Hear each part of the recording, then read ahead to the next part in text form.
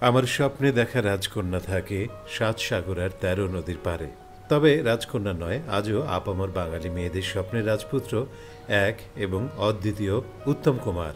মহানায়ক তো বটেই, তার থেকেও বেশি তাকে ঘিরে রয়েছে নস্টালজিয়া। তার দেওয়ালে পিঠে গিয়ে গোল গোল সিগারেটের রিং, আজও হার মানায় এইট কিংবা সিক্স প্যাককে। তার বাঙালিয়ানায় মোড়া বাদ ভাঙা হাসিতেই কাত শয়ে শয়ে বঙ্গললনা।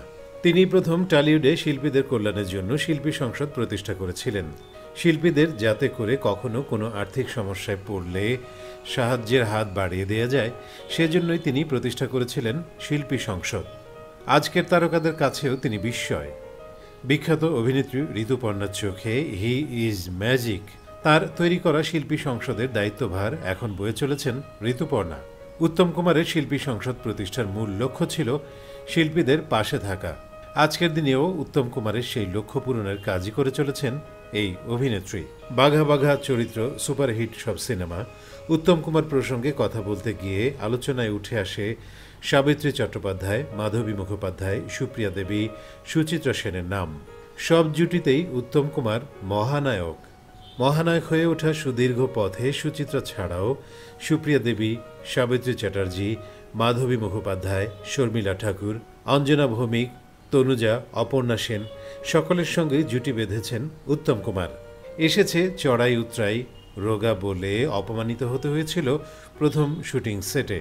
সেই রোগা ছেলেটারই ছবি আজ টাঙানো থাকে প্রত্যেক ঘরে ঘরে। তবে তিনি শুধুই রোমান্টিক নায়ক নন, সত্যজিৎ রায়ের চিড়িয়াখানার প্রথম দৃশ্য।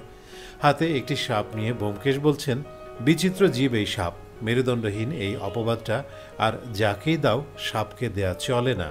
তিনি সপ্তপদীর কৃষ্ণেন্দু, আবার চিড়িয়াখানার ব্যোমকেশ দেওয়া নেওয়ার প্রশান্ত রায়, কিংবা অগবধূ সুন্দরীর অধ্যাপক গগন সেন। তিনি আজও বাঙালির স্টাইল আইকন অরুণ কুমার চ্যাটার্জি, মহানায়ক উত্তম কুমার, গায়ক উত্তম কুমার, পরিচালক প্রযোজক উত্তম কুমার, এসব নিয়ে বহু কথা, বহু লেখা হয়েছে আজ পর্যন্ত। তার ব্যক্তিগত জীবন নিয়েও কাটাছেড়া কম হয়নি, কখনো কুৎসার উঠেছে কখনো অপবাদ কিন্তু উত্তম কুমারের মানবিক দিক নিয়ে তেমন একটা আলোচনা শোনা যায়নি। নিঃশব্দে কাউকে না জানিয়ে বহু জায়গায় দান করেছেন উত্তম কুমার। বহু কন্যাদায়গ্রস্ত বাবার হাতে প্রয়োজনের সময় তুলে দিয়েছেন অর্থ। কিন্তু এসব গোপন রাখতে চাইতেন মহানায়ক। তার শর্তই থাকত এসব কথা যেন পাঁচ কান না হয়। কিন্তু কৃতজ্ঞতায় আটকানো জীব কোনো না কোনো সময় ঠিকই খুলে যায়। আর সত্যিটা বেরিয়ে আসে দিনের আলোর মতো। অনেকটা লোক মুখেই প্রচার পেয়েছিল উত্তমের এমন বহু গোপন সাহায্যের কথা যা তিনি বেঁচে থাকতে কেউ বলেননি। প্রথম ঘটনা তার সহকর্মী মণি শ্রীমানির মেয়ের বিয়ের কথাই ধরা যাক। চরিত্র অভিনেতা মনির মেয়ের বিয়ে ঠিক হয়েছে, কিন্তু বিয়ের খরচ সামাল দেওয়ার মতো টাকা তার হাতে নেই। কোনো সূত্রে খবর পেলেন উত্তম কুমারের ভাই তরুণ কুমার। দাদাকে গিয়ে সমস্ত কথা জানালেন। দুই ভাইয়ের মধ্যে পরামর্শ হলো, রাতভর আসল কারণ জানিয়ে সকলের কাছ থেকে চাঁদা তোলা হলে মণিবাবুর আত্মসম্মানে আঘাত লাগতে পারে। এই ভেবে সেই চিন্তা বাতিল করলেন উত্তম কুমার। তার বদলে উত্তম কুমার আর এক অসামান্য অভিনেতা সত্য বন্দ্যোপাধ্যায়কে নিয়ে এক জমজমাট জলসার আয়োজন করলেন বিশ্বরূপা থিয়েটারে। সঙ্গে ছিলেন তরুণ কুমারও। নিজে সমস্ত শিল্পীকে অনুরোধ করেছিলেন উত্তম কুমার।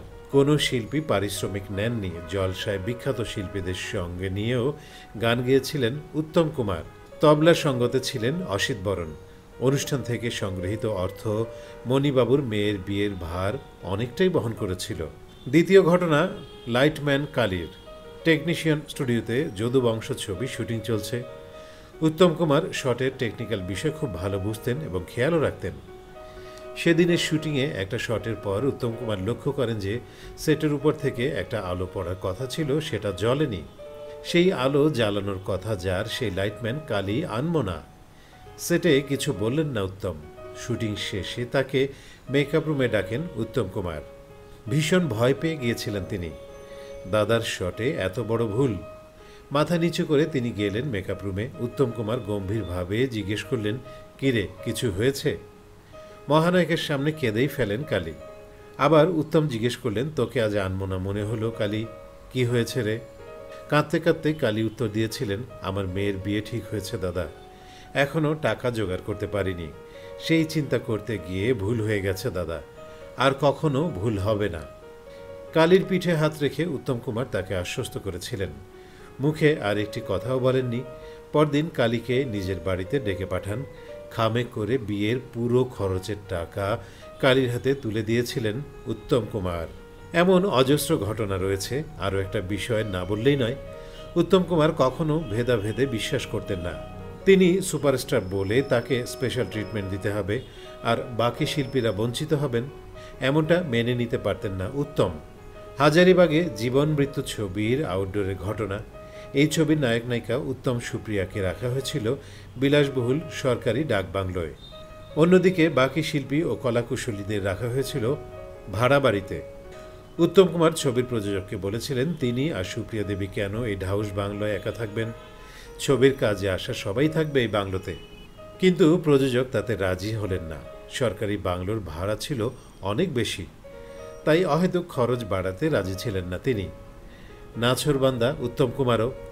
খানিক তর্ক বিতর্কের পর উত্তম কুমার বললেন, ছবিতে কাজই করবেন না। মাথায় তো হাত প্রযোজকের। বিনা বাক্য ব্যয়ে মেনে নিলেন উত্তমের কথা। ভাঙাচোরা ভাড়া বাড়ি ছেড়ে বাকি টিম উঠে এলো বিলাসবহুল ডাকবাংলোয়।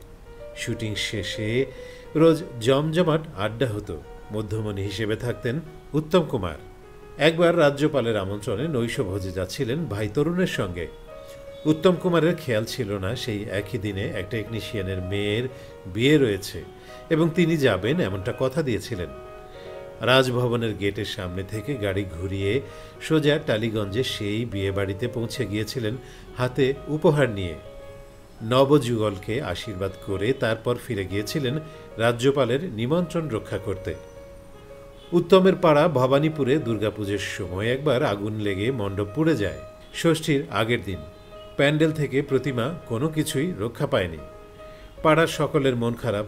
পুজোর দিনে মণ্ডপের জায়গাটা খাখা করবে, এই ভাবনা নিয়ে সকলে বাড়ি ফিরে যান। পরদিন সকালে বাইরে বেরিয়ে দেখেন ভোজবাজির খেল। নতুন মণ্ডপ, নতুন প্রতিমা, আলোর রোশনাইয়ের ব্যবস্থা পুরো জেল্লা ফিরে এসেছে। কীভাবে হলো? এই ঘটনা তখন জানাজানি হয়নি। এর বহু বছর পর অভিনেতা অনিল চট্টোপাধ্যায় এর পিছনে রহস্য ফাঁস করেন। অনেক রাত করে শুটিং সেরে বাড়ি ফেরার পথে এই দৃশ্য চোখে পড়ে মহানায়কের। তিনি গাড়ি থেকে নেমে শটান পাড়ার গুটিকতক ছেলের সামনে আসেন এবং বলেন, তিনি সব ব্যবস্থা করে দেবেন এবং পুজোর জন্য যাবতীয় খরচ বহন করবেন। কিন্তু কথা যেন প্রকাশ না হয়। পাড়ার ছেলেরা সেই কথায় রাজি হলো। তাতেই ধুমধাম করে হয়েছিল পুজো। উত্তম যতটা প্রচারের আলোয় থেকেছেন, তার এই মানবিক গুণগুলো ততটা থাকেনি। সে কারণেই হয়তো অনেকেই এই সমস্ত ঘটনা জানেন না বা কখনো এই সমস্ত ঘটনা আলোচনায় উঠে আসেনি। মহানায়ক উত্তম কুমার, আপনি পরপারে ভালো থাকুন।